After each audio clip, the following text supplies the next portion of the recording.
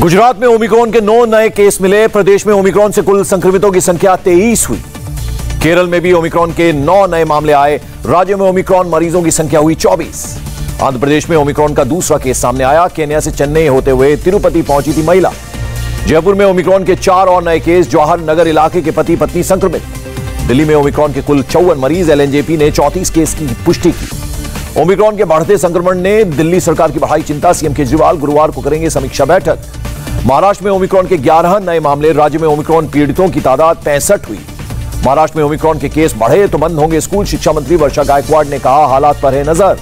Bombay high court में महाराष्ट्र सरकार का बयान, अनवैक्सीनेटेड लोगों को पब्लिक ट्रांसपोर्ट में अनुमति देने से दूसरों को खतरा। हरियाणा में अब तक नहीं मिला ओमिक्रॉन का केस, स्वास्थ्य मंत्री अनिल विज का दावा, ओमिक्रॉन से निपटने के लिए तैयार है सरकार। ऑस्ट्रेलिया के पीएम स्कॉट मॉरिसन की अपील, लॉकडाउन से बचने के लिए क्रिसमस के दौरान कोविड नियमों का करें पालन। पाकिस्तान के बलूचिस्तान में ओमिक्रॉन के 12 संदिग्ध मामले सैंपल जाँच के लिए भेजे गए। ओमिक्रॉन वेरिएंट पर कारगर है स्पुतनिक वैक्सीन, रूसी एजेंसी की रिसर्च में खुलासा। ओमिक्रॉन के बढ़ते खतरे के बीच राहुल गांधी ने सरकार से किया सवाल, कोरोना की बूस्टर डोज कब उपलब्ध कराई जाएगी? नीति आयोग के सदस्य वीके पॉल का बयान, वैज्ञानिक आधार पर ही बूस्टर डोज लगाने का फैसला लिया जाएगा। गुरुवार को कोरोना पर समीक्षा बैठक करेंगे पीएम मोदी, ओमिक्रॉन वेरिएंट पर होगी चर्चा। एसपी प्रमुख अखिलेश यादव के घर तक पहुँचा कोरोना, पत्नी डिंपल और बेटी कोरोना संक्रमित, अखिलेश ने अभी तक नहीं ली है वैक्सीन। डिंपल यादव ने संपर्क में आए लोगों से टेस्ट करवाने की अपील की कहा मैं पूरी तरह से वैक्सीनेटेड हूँ। देश में कोरोना के 6,317 नए केस 24 घंटे में 318 लोगों की कोरोना से गई जान। केरल में 24 घंटे में कोरोना से 3,205 लोग संक्रमित तीन सौ तिरासी लोगों की मौत। महाराष्ट्र में कोरोना के 1201 नए केस आए 24 घंटे में आठ लोगों की मौत हुई। तमिलनाडु में कोरोना संक्रमण के 604 नए मामले 24 घंटे में आठ लोगों की मौत। बंगाल के नादिया में एक स्कूल में 29 छात्र कोरोना संक्रमित एडमिनिस्ट्रेशन ने दी जानकारी।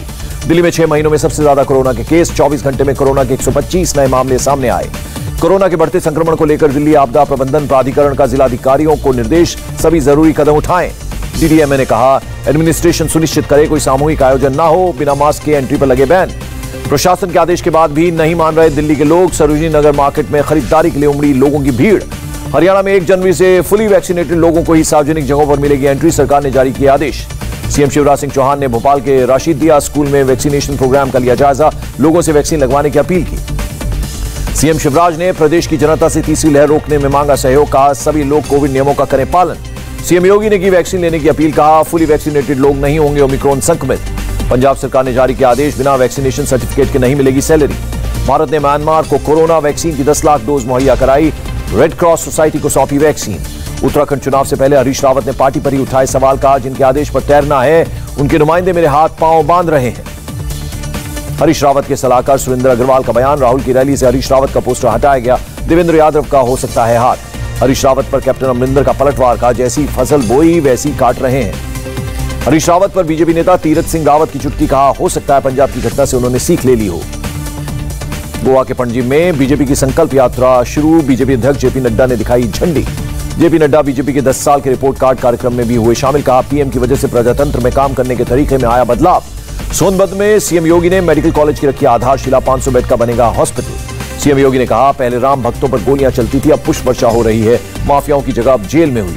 प्रियंका गांधी का ट्वीट बोली, मेरे पास बहने हैं जो राजनीति में बड़ा बदलाव लाएँगी। हिंदू हिंदुत्व को लेकर राहुल गांधी का फिर ट्वीट लिखा, हिंदू सत्य के रास्ते पर चलता है, हिंदुत्ववादी धर्म की आड़ में लूटता है।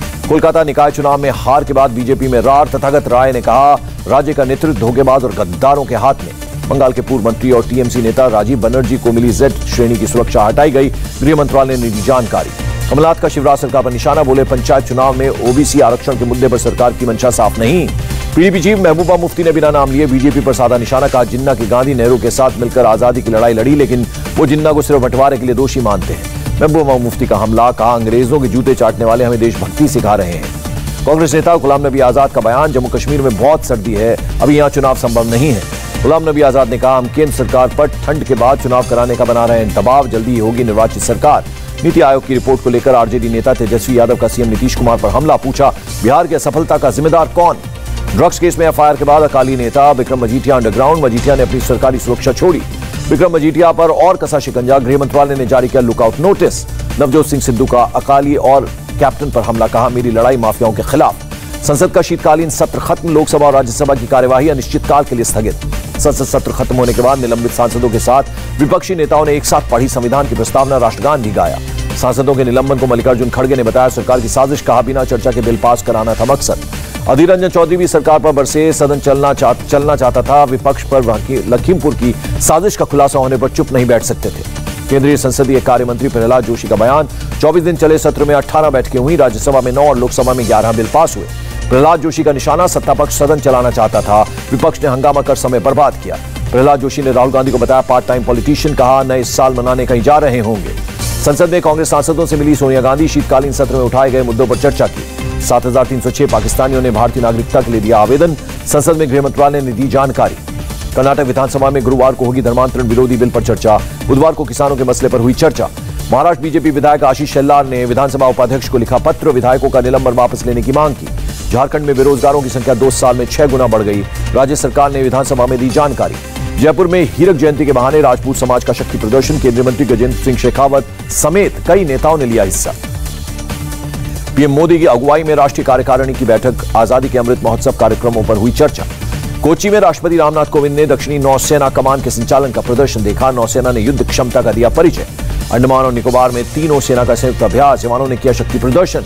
संसद में पेश हुआ गाड़ियों का नया registration mark. B H series, एक राज्य से दूसरे राज्य में जाने पर पर्सनल व्हीकल को नए पंजीकरण चिन्ह की ज़रूरत नहीं। बी एच सीरीज़ का रजिस्ट्रेशन हर किसी के लिए ज़रूरी नहीं, सिर्फ़ डिफेंस केंद्र, राज्य सरकार और निजी कंपनियों के लोग कर सकते हैं अप्लाई।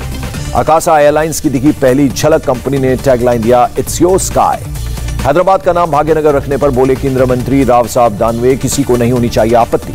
आरएसएस प्रमुख मोहन भागवत ने कहा, अभी भाग्यनगर गया नहीं हूँ, मैं वहाँ जाऊँगा।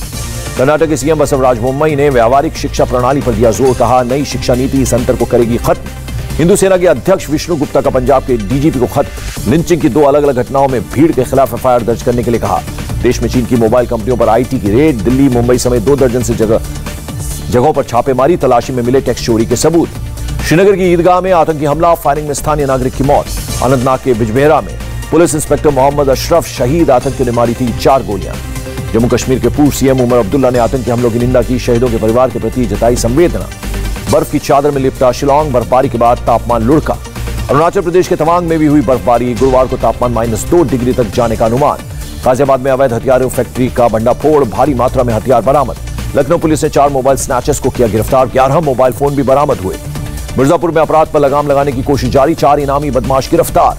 महाराष्ट्र कांग्रेस के कार्यकारी अध्यक्ष नसीम खान ने मंत्री बाला साहब थोराट को लिखा पत्र, पाँच फ़ीसदी मुस्लिम आरक्षण देने की मांग। सिख समुदाय पर विवादित बयान देने का मामला, गुरुवार को खार पुलिस स्टेशन में अपना बयान दर्ज करा सकती हैं Kangana Ranaut. Cruise drugs case में रंगदारी मांगने के मामले में मुंबई पुलिस ने रोकी जाँच। 20 लोगों से पूछताछ कर चुकी है स्पेशल इंक्वायरी टीम। महाराष्ट्र में परमवीर सिंह समेत 30 पुलिस अफसर और कर्मचारी होंगे सस्पेंड, डीजी संजय पांडे ने की सिफारिश। ईडी ने जैकलिन फर्नांडिस के खिलाफ लुकआउट नोटिस कैंसिल करने से किया इनकार। जैकलिन ने की थी राहत की अपील। महाराष्ट्र के थाने में वकील से 25 लाख रुपए की ठगी, दो आरोपी गिरफ़्तार। तख्ता पलट के बाद से म्यांमार में पलायन जारी, बीते हफ़्ते में 4000 लोग थाईलैंड पहुँचे। उत्तरी म्यांमार के काचिन में एक खदान में ज़बरदस्त लैंडस्लाइड एक की मौत सत्तर लोग लापता। मेडागास्कर के एक मंत्री ने लगातार 12 घंटे तैरकर जान बचाई। एक रेस्क्यू ऑपरेशन के दौरान हेलीकॉप्टर हुआ था क्रैश। अमेरिका के ह्यूस्टन में पैराग्लाइडर से टकराया एक छोटा विमान, दो लोगों की मौत हुई। यूएस डॉलर के मुकाबले रुपए का भाव पाँच पैसे बढ़ा, एक डॉलर की कीमत पचहत्तर रुपए चौवन पैसे। बढ़त के साथ बंद हुआ शेयर बाज़ार, सेंसेक्स छह सौ ग्यारह और निफ्टी एक सौ चौरासी अंक उछाल के साथ बंद। भारत ने पाकिस्तान को दी चार तीन से मात एशियन चैंपियंस ट्रॉफी में जीता ब्रॉन्ज मेडल। और बीडब्ल्यूएफ की ताज़ा रैंकिंग हुई जारी। किदाम्बी श्रीकांत टॉप टेन में हुए शामिल। इंडिया टीवी हर वक्त, हर जगह। डाउनलोड करने के लिए सर्च करें India TV news Google Play store या एप स्टोर पर।